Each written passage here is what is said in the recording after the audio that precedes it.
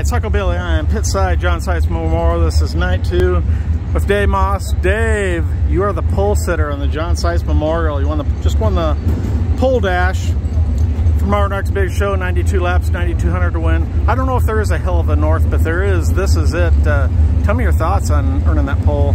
Oh, it's it was a fun race out there for that pole dash, and I'm just happy to be here. I was happy just to make the show, and then to be in that pole and win that.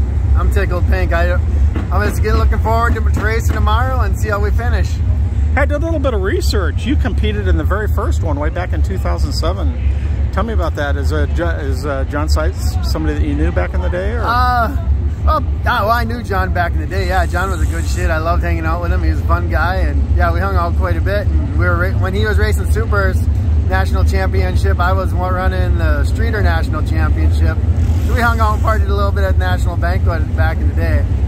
Yeah, six guys that made that starting lineup are here this weekend. Only six, and you're one of them. So really, yeah, I didn't even know that it was the first one. I back then I had a crate car, and then Don borrowed me a motor. We came here and raced that year, and it was a hell of a time. Awesome, awesome, awesome. So you were 10th last night. You were 10th last year.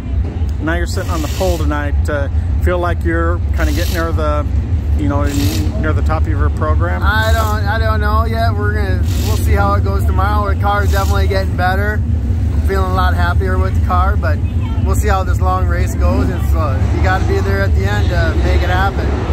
One last question: How close is this two car to the 42S car of Don Shaw?